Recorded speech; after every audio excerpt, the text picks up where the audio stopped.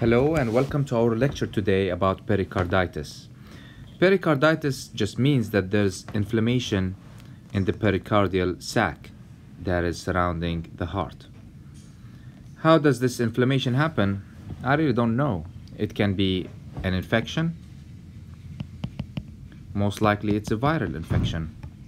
A patient might complain about chest pain or shortness of breath that uh, increases whenever uh, uh, they're taking a deep breath or so. This can happen also after an MI within few hours or also it can happen about two weeks after an MI. This is what is called as Dressler syndrome. And you might see that coming up in your exam. Post MI happens within days.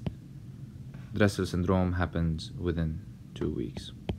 Also, any kind of injury to the myocardium, let's say that someone had trauma or whatever, and they start having those um, um, abnormal symptoms, and then someone calls you about their EKG, and you say, you know what, this looks like pericarditis. So, anything that actually traumatizes uh, the heart, it might lead to such changes. Now, how can you diagnose pericarditis? A very common question. You got to remember this. The patient would have diffuse ST elevations. And what I mean by diffuse in all the leads, except the right-sided leads, except the right-sided leads. And those are V1 and AVR.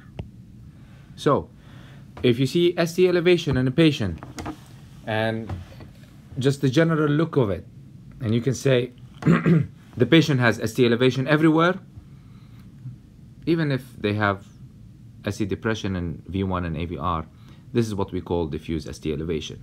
Always think that the patient might have pericarditis. But to add more, we see depressed PR segments. And if you see this depressed PR with an elevated ST in the same lead, make sure that you say it's pericarditis. We hardly ever see depressed PR segments in other diseases. So, let me just show you how on an EKG. This is a P wave and then you will see that it actually drops like that and maybe someone has QRS then there's this ST elevation.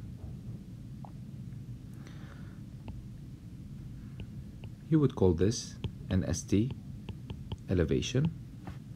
And this looks like a depressed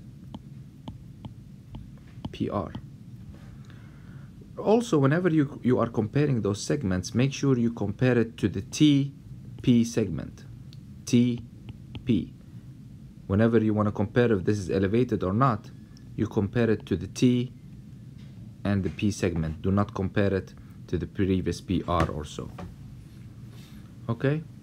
Now depressed PR ST elevation multiple leads.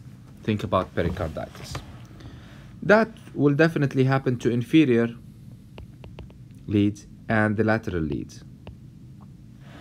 If you look at AVR or V1, you might see the picture in another way. In AVR or V1, because they are right-sided leads, as we talked about the normal sinus rhythm lecture, the R wave is going to be negative. The P wave, sorry, is going to be negative. And then, because it's the other way around, you're gonna see the PR elevated. And then you might see the ST, but instead of an elevation, you will have depression. And then you're gonna see the other beat going on. So the PR will be elevated, the ST will be depressed. And this will only happen when you have a right-sided lead. The question will not uh, will not show you this. They might just tell you, there's a patient who came in chest pain, shortness of breath, and it changes with respiration, changes with breathing.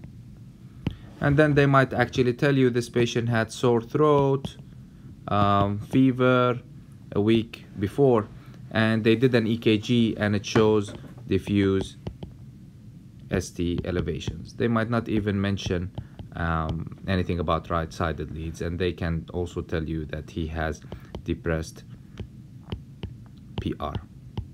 This is the case where you think about pericarditis. And usually the treatment is symptomatic. The patient is not going to die from this, but he's going to have uh, chest pain, shortness of breath. Um, in, in, in your exams, if someone has pericarditis after an MI, always think that you gotta give them aspirin, high doses. Some people even use colchicine, and colchicine is like an anti-inflammatory. In other uh, uh, areas, you can use NSAIDs, and those patients.